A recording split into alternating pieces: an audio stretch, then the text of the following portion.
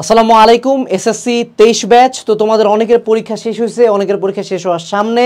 So তোমাদের কয়েক মাস পরে এসএসসি পরীক্ষা এবং যতদূর আমি জানি, তেইশ ব্যাচের একদম সোনার ছেলেদের এখন পর্যন্ত মূল বইয়েরই খুব ভালো মতো পড়াশোনা হয় নাই এবং তাদের এসএসসিতে প্লাস আসবে কীভাবে এটা নিয়ে তাদের টানাটানি অবস্থা। সো আমরা এখন আগামী পাঁচ মাসের মোটামুটি আমাদের প্রেডিকশন হলো পাঁচ মাসের মধ্যে এসএসসি হবে। আরও বেশি টাইম থাকতে পারে বাট আমরা পাঁচ মাস ধরে নিয়ে আগাবো। সো আগামী পাঁচ মাসের একটা ডিটেল গাইডলাইন প্ল্যান দেবো আজকের এই ভিডিওতে। সো সরাসরি আমরা ভিডিওতে চলে যাই। যাদের অবস্থা খারাপ, যাদের অবস্থা ভালো, যাদের অবস্থা মিডিয়াম সবাই ভিডিওটা প্রথম থেকে শেষ পর্যন্ত দেখবা। কোনো একটা পয়েন্ট মিস গেলে পরবর্তীতে পস্তাবা, ঠিক আছে? ওকে লেট স্টার্ট সো প্রথম যে পয়েন্টটা আমরা আগে একটু টাইম লাইনটা দেখি। টাইম লাইনটা আমরা আগে বুঝি যে আগে আমাদের সামনে কি কি স্টেপ পার করতে হবে। প্রথম স্টেপটা হলো আমাদের নভেম্বর এবং ডিসেম্বর মাসের স্টেপটা নভেম্বর এবং ডিসেম্বর মাসটা আমাদের মূল টার্গেট থাকবে একাডেমিক ফিল আপ করা। কীভাবে করব সেটা আমরা পরে বলব। এরপর আমরা জানুয়ারি ফেব্রুয়ারি মাসের টাইমলাইনটা কী হবে? এই টাইমটা হবে একদম সোল টেস্ট পেপার সলভিং এখন যাদের একাডেমিক আগে থেকে ফিল আপ করা আছে, ও কিন্তু এই টাইমলাইনটাতে একাডেমিকের জায়গায় টেস্ট পেপার সলভিং আগে থেকে করতে পারে। অথবা তুমি কিন্তু চাইলে দুইটা একসাথে প্যারালালি করতে পারো। তো তোমার অনুযায়ী তোমাকে প্ল্যানটা চেঞ্জ করে ফেলতে হবে এবং লাস্টলি মার্চ মাসে যে কাজটা করতে হবে, সেটা হলো যে তোমাকে আলটিমেটলি এক্সাম কোশ্চেন অ্যানালাইসিস এবং রিভিশন ফাইনাল রিভিশনটা দিতে হবে। সো আমরা ওভারঅল টাইমলাইনটা বুঝলাম। কারণ সরকার বলছে তারা এপ্রিলে এসএসসি এক্সাম নেবে। এখন এক্সাম পিছাইলে সর্বোচ্চ এক মাস পিছাবে, এমন হবে না যে আরও ছয় মাস পর এক্সাম হবে। সো মোটামুটি আমাদের হাতে এই টাইম টাইমলাইনগুলো আছে। তো তোমাদের যাদের স্কুলের এক্সাম শেষ হয়েছে, তোমরা কোনো মতন কিছু চ্যাপ্টার পড়ে টোরে এক্সাম দিছো সো প্রথম আমাদের যে কাজটা হবে ফাইন্ড আউট দ্য গ্যাপস প্রথম আমাদের কাজ এটা, যে আমাদেরকে গ্যাপ ফাইন্ড আউট করতে হবে। তো তুমি আজকে যেটা করবা, আমার ভিডিওটা দেখা শেষে তুমি একটা খাতা কলম এবং তোমার সবগুলো বই নিয়ে বসবা। বই নিয়ে বসে আগে লেখার চেষ্টা করবে যে তোমার এখন কি কি বাকি। এক, কি কি স্কিপ করছ? দুই কি কি হালকার উপর ঝাপসা দিয়ে গেছো, কি কি হালকা বুঝো, এরকম সব কিছু চ্যাপ্টার ওয়াইজ লিস্ট করবা। টপিকের নাম লেখে লেখে। যেমন ধরো, গতিবিদ্যায় যে গতির তৃতীয় সূত্র, তারপর ধরো স্থিতিস্থাপকতা ইয়ংয়ের গুণাঙ্ক, তারপর ধরো তুমি লেখলা কেমিস্ট্রির ক্ষেত্রে জীবাশ্ম জানালির বিক্রিয়াগুলো, এরকম করে যত ডিটেলসে লেখা যায়। তারপর ধরো তুমি উচ্চতর গণিতের ক্ষেত্রে লেখা যে বীজগাণিতিক রাশির আংশিক ভগ্নাংশ আমি স্কিপ করছি, এরকম। যত ডিটেলসে লেখা যায় first of all visualize your gaps এটাতে যেটা সুবিধা হবে যে তুমি জানতে পারবে যে তোমার কতটুকু বাকি, নাহলে মাঝে মধ্যে অতিরিক্ত ভয় লাগে, পড়া স্টার্টই করতে পারো না। গ্যাপ ফিল আপের পরে আমাদেরকে প্রথম যেটা করতে হবে, সেটা হলো টার্গেট ওয়াইজ একটা রুটিন বানাইতে হবে। টার্গেট ওয়াইজ রুটিন যে আমাদের এখন টার্গেট করতে হবে।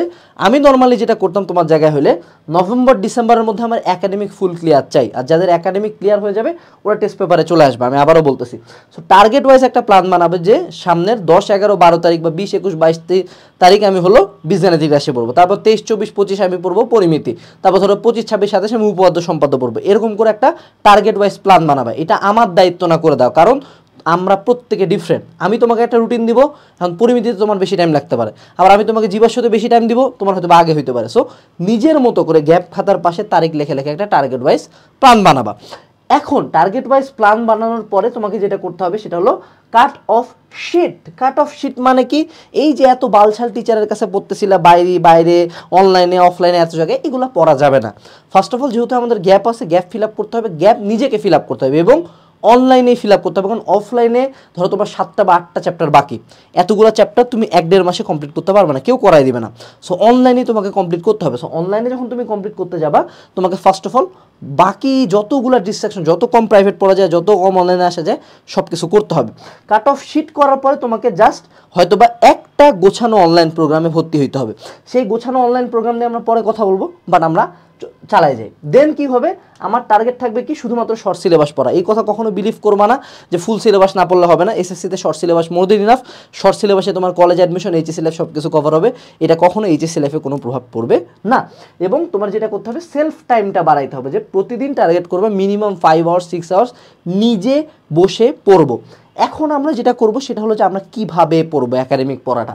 প্রথম দুই মাসের যেটা প্ল্যান ফার্স্ট অফ অল আমাদের একাডেমিক টার্গেট তাই না? একাডেমিক কীভাবে পড়ব? প্রথম টার্গেট হলো বইটা খুলবা, বইটা খোলা আগে রিডিং দিবা। সুন্দর ভালো মতো রিডিং পড়লা। লাইন বাই লাইন রিডিং পড়লা, কিছু ইম্পর্টেন্ট লাইন দেখালে দ্যাটস ডান রিডিং পড়ার পর আমাকে এবার ক্লাস করতে হবে। এখন ক্লাস তুমি যে কোনো সোর্স থেকে করতে পারো ফ্রি করতে পারো পেড করতে পারো। এবং তোমাদের এই যে একটা বললাম না টার্গেট ওয়াইজ রুটিন তো আমরা ডিসেম্বরের দশ তারিখ থেকে এই SSC twenty three revision program launch করতেছি, যেটাতে তুমি ভিডিও ডিসক্রিপশন বক্সে এখন রেজিস্ট্রেশন করে রাখতে পারো, কারণ পরবর্তীতে রেজিস্ট্রেশন ফিটা বাড়বে। ওখানে আমরা একটা গোছানো রুটিন দিয়ে লাইভ ক্লাস রাখব, পনেরোটা একাডেমিক ক্লাস পঁয়তাল্লিশটা math solving class test solving class এবং আমাদের এক্সামও থাকবে ম্যাটেরিয়ালস থাকবে এসএসসি সাজেশন থাকবে সব কিছু সাতশো পঞ্চাশ টাকায় তুমি গোছানো একটা প্ল্যান অনুযায়ী আগাবা। এবং এখান থেকে প্রথম যে কাজটা করবা, তুমি যদি কোর্সে এনরোল করো ফার্স্ট অফ অল আগে একাডেমিক ক্লাসটা করবা। বই রিডিং পড়ার পরে তোমার প্রথম কাজ হলো সুন্দর মতো ফোনটা বা ল্যাপটপটা খুলে একাডেমিক ক্লাসটা করলাম। একাডেমিক ক্লাস করার পরে তোমাকে দ্বিতীয় যে কাজটা করতে হবে, সেটা হলো সলভিং ক্লাস এই যে কোর্সের মধ্যে যে ম্যাথ সলভিং ক্লাস আছে, কখনো এই ভুলটা করবা না যে শুধুমাত্র ম্যাথের একটা চ্যাপ্টারে একাডেমিক ক্লাস করবা। একাডেমিক ক্লাস দিয়ে সব কভার হয় না একাডেমিক ক্লাসের অনেক কিছুই তুমি বুঝবা না। That's why math solving class যেখানে টিচার আছে শুধু ম্যাথই করাবে, সেই ম্যাথ সলভিং ক্লাসটা করবা। তো তুমি দুইটা ক্লাস করে ফেলছো। এইবার কি করতে হবে? আমাকে নিজেকে করতে হবে। এখানে হলো সেলফ ঠিক আছে? আমার প্রথম কাজ হলো এইবার আমার যখন ক্লাস করা এবার আমি নিজে বইটা পড়ব, নিজে ম্যাথ ট্যাথ করব। সো ওভারঅল পার চ্যাপ্টার তুমি সর্বোচ্চ দুই থেকে তিন দিন টাইম পাবা এই পুরা প্রসেসটা করার জন্য। নিজে করার পরে এখানে লেখা আছে কি? R M one what is R M one revision material one revision material কি? তুমি যাতে এইচএসসির আগে এই চ্যাপ্টারটা যাতে মোটামুটি মাথার মধ্যে থাকে, বা নেক্সট টাইম তুমি চ্যাপ্টারটা দ্রুত রিভিশন দেওয়ার জন্য যেগুলা জায়গায় তোমার কঠিন মনে হবে এবং যেগুলো জায়গা বেশি ইম্পর্টেন্ট সেগুলো তুমি অথবা যেগুলো জায়গা তোমার ধরো উইক পয়েন্ট সেগুলো তুমি আলাদা করে মার্ক করে ফেলবা। এটাই হলো তোমার আর এম ওয়ান এটা আলাদা করে নোট খাতা করার দরকার নেই বইয়ের মধ্যে মার্ক করে ফেললা। এইভাবে তোমার প্রথম টার্গেট হবে এই কোর্সের একাডেমিক পার্টটা শেষ করে ফেলা, ঠিক আছে? একাডেমিক এবং ম্যাথ সলভিং ক্লাসগুলো যদি তোমার কমপ্লিট হয় দ্যাট ইজ ডান ওকে এবার যদি আমরা চলে আসি জানুয়ারি ফেব্রুয়ারির দিকে, অথবা যাদের একাডেমিক অলরেডি ক্লিয়ার আছে, তারা কি করবে? মনে রাখতে হবে আচ্ছা আরেকটা কথা উল্লেখ করে দিই। একাডেমিক যাদের বাকি আছে ভাই, ধরো তোমার পঁচিশটা চ্যাপ্টার বাকি সাত আটটা না, পঁচিশটা বাকি স্টার্ট করতে হবে। স্টার্ট রাউট রাইট নাও যত লেট করে স্টার্ট করবে, তত দেরি হবে। এখানে যে তোমাকে নভেম্বর, ডিসেম্বরের মধ্যে করতে হবে, তা না। তুমি এটাকে টানে মার্চ পর্যন্ত নিয়ে যেতে পারো, তোমার ইচ্ছা। আমি একটা তোমাকে আদর্শ টাইমলাইন দিতে পারি বাট তোমাকে স্টার্ট করতে হবে। যদি তুমি স্টার্ট করতে যত লেট করবা, তত তুমি পরবর্তীতে পেন খাবা। এবার চলে আসি জানুয়ারি, ফেব্রুয়ারির দিকে, কী করতে হবে? তেইশ ব্যাচের প্রথম যেটা কাজ, ধরো তোমার একাডেমিক পড়া শেষ একাডেমিক ক্লিয়ার আছে। এইবার বাজারে যায় টেস্ট পেপার কিনবা। হয়তো বা সাপ্লিমেন্ট বের হয়ে গেছে এতদিনে টেস্ট পেপার বের সম্ভবত তোমাদের বের হয়ে যাওয়ারও কথা। টেস্ট পেপার কিনবা টেস্ট পেপারের মে ডিজির প্রথম প্রত্যেক চ্যাপ্টারের পনেরো থেকে বিশটা করে কোশ্চেন কটা? পনেরো থেকে বিশটা কোশ্চেন সোললি সলভ করতে হবে। এখন যেটা প্রবলেম ফেস করবা, সেটা হলো একাডেমিক ক্লাস করলে কিন্তু টেস্ট পেপার সলভিং হবে না এবং বাইশ ব্যাচের বোর্ডের কোশ্চেনগুলোরও কিন্তু অনেক ভালো পরিমাণে সলভ লাগবে। তো এই জায়গায় একটা অনলাইন ক্লাস করতে হবে। আমি যেটা সাজেস্ট করি যে, কোনো একটা চ্যাপ্টার টেস্ট পেপার সলভ করার আগে ওটার একটা টেস্ট পেপার সলভিং ক্লাস করতে দরকার। সো এই জায়গায় টেস্ট পেপার সলভিংয়ের একটা সেপারেট কোর্স আছে তেইশ ব্যাচের জন্য। সেটাও কিনতে পারো আর যদি রিভিশন প্রোগ্রামে ভর্তি হয় সেটা আগে থেকেই পাওয়া যাবা। টেস্ট পেপার সলভিং ক্লাসটা চুপচাপ বসে বসে দেখবা যে টিচার কীভাবে একটা প্রশ্নকে অ্যাপ্রোচ করতেছে। সেই অ্যাপ্রোচটা দেখার পরে তুমি যেটা করবা, নিজে এইবার সলভ করতে বসবে প্রথম পনেরো থেকে বিশটা কোশ্চেন যেগুলোতে আটকে যাবা, সেগুলো হয়তো বাড়ির টিচারকে দেখালে, অথবা সেম ভিডিও রিপিট করবা বা নিজে বোঝার চেষ্টা করবা। That's it we are done here এইবার তিরিশটা এম ইএন মানে কি থার্টি এম ইএন মানে কি? ইংলিশের ক্ষেত্রে তিরিশটা মডেল টেস্ট মিনিমাম সলভ করব ফার্স্ট পার্ট হোক বা সেকেন্ড পার্ট হোক, তিরিশটা মডেল টেস্ট সলভ করতে হবে। এরপরে MCQ chapter wise guide what is MCQ chapter wise guide যেহেতু এসএসসিতে আমাদের এমসিকিউ থাকবে এমসিকিউর প্রিপারেশনের জন্য মূল বইতে রিডিং এখানে আমরা পড়ছি। সেটার বাইরেও যদি তোমাদের গাইড থাকে একাডেমিক গাইড পাঞ্জেরি বা লেকচারে সেগুলো চ্যাপ্টার ওয়াইজ যে এমসিকিউগুলো আছে, বা তুমি মেডিজিতে যদি চ্যাপ্টার ওয়াইজ এমসিকিউ সাধারণত পাবা না, যদি পাও, সেখান থেকে সবগুলো এমসিকিউ সলভ করে ফেললা। তাহলে আমাদের সলিড এইচএসসির প্রিপারেশন ডান এবার আমরা কি করব? আর এম টু করব। আর এম টু কি? প্রথম রিভিশন ম্যাটেরিয়ালটাকে আরেকটু শর্ট করা যায়। এবার তুমি বইয়ের মধ্যে মার্ক করবা, এই যে পনেরো থেকে বিশটা তুমি কোশ্চেন করলা, এগুলা কোন কোন জায়গা থেকে আসছে?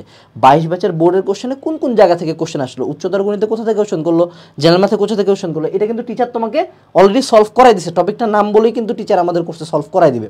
তো ওখানে তুমি আর এম টু করবে যে ওই বইয়ের আলাদাভাবে মার্ক করবে যে এই টপিকটা থেকে কোশ্চেন আসছে। এই টপিক থেকে কোশ্চেন খুব বেশি বার আসছে। আলাদা করে মার্ক করবে। এই ম্যাথটা বেশ কয়েকবার আসছে। ছক্কা নিক্ষেপের ম্যাথটা বারবার আসছে। এইবার তোমার আর এম টু রেডি হয়ে গেল। এখন now we are in end game March মাস চলে আসছে। মার্চ মাসে আমাদের যেটা করতে হবে যে টেস্ট পাওয়ার সলভিং কোর্সেও এক্সাম দেওয়া আছে, আবার তুমি ধরো এই ম্যাটেরিয়ালস রিভিশন কোর্সেও এক্সাম দেওয়া আছে। তোমার মূল কাজ হবে এক্সাম দেওয়া। অনলাইনেও এবং অফলাইনে অফলাইনে যদি দাও আরও ভালো। এবার তুমি কি করবে? অ্যানালাইসিস এই যে ততদিনে তোমাদের এসি অলরেডি দেওয়া আছে, সামনে আরও আপডেটেড এসি কোর্সে অ্যাড করা হবে।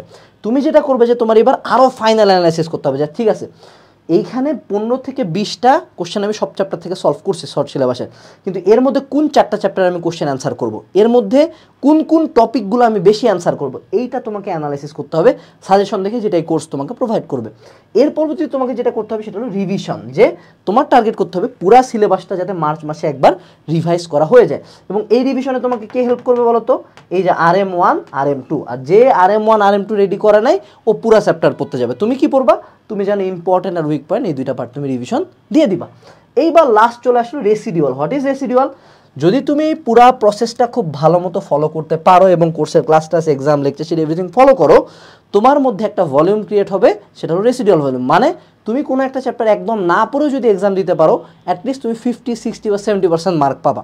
তো ধীরে ধীরে এই ভলিউমটা বাড়াবা, কারণ তুমি পরীক্ষার আগে রাতে সব রিভিশন দিয়ে যাইতে নাও পারো। সো এই ওভারঅল প্ল্যানে যদি আগাইতে পারো, তাহলেই হবে। এবং এই কোর্স নিয়ে যে কোনো গাইডলাইন বা ডিটেলস তুমি ভিডিও ডিসক্রিপশন বক্সে পাবা। আমাদেরকে অবশ্যই কোর্স প্রমোট করতে হবে, কারণ এসএসসি নিয়ে কিন্তু মার্কেটে কেউ কাজ করে না ওই লেভেলে হাতে গোনা একজন স্যার দুজন স্যার হলো এক, দুইটা কোর্স করায় বাট আমরা একটা গোছানো প্রোগ্রাম দেওয়ার চেষ্টা করতেছি। দুই নম্বর কথা হলো, যারা এখনও গ্যাপ ফিল আপ করতে পারো না যারা এখনও mentally depressed try to start right now আমি বলি, তুমি যদি আজকে থেকেও চাও যে তুমি আগে কিচ্ছু পড়ো নাই আজকে থেকেও চাইছো ভাইয়া, আমি কি পারব আজকে থেকেও যদি আমি মনোযোগ দিয়ে প্ল্যান অনুসারে পড়ি? ইনশাল্লাহ মানে শুধু বোর্ডে প্লাস পাওয়া না বোর্ডে প্লেস করা possible but you have to start right now এই ভিডিওটা স্টপ করে give it your best shot তুমি পারবা। কারণ এটা তোমার স্কুল লাইফের লাস্ট এক্সাম সো যদি তুমি এটাতে খারাপ করো, এটা কিন্তু তোমার কলেজে ইফেক্ট পড়বে এবং অ্যাডমিশনেও কিন্তু এসএসসি জিপিএ থেকে মার্কিং হয়। মেডিকেলে হয়, ঢাবিতে হয়। সো আমরা কখনোই চাবো না যে এসএসসিতে একটা ফোর পয়েন্ট মার্ক নিয়ে আমরা বের করি। ঠিক আছে? হাতে টাইম কম সিলেবাসটা যথেষ্ট বড়, তোমাদের ব্রেনও যথেষ্ট কাছে এইচএসসির মতো না যে একটানে পড়ে পারবা। So start right now enroll on the course ভালো একটা প্রিপারেশন হবে। এইটুকুই ছিল আজকের ভিডিওতে দেখা হচ্ছে পরবর্তী ভিডিওতে টাটা।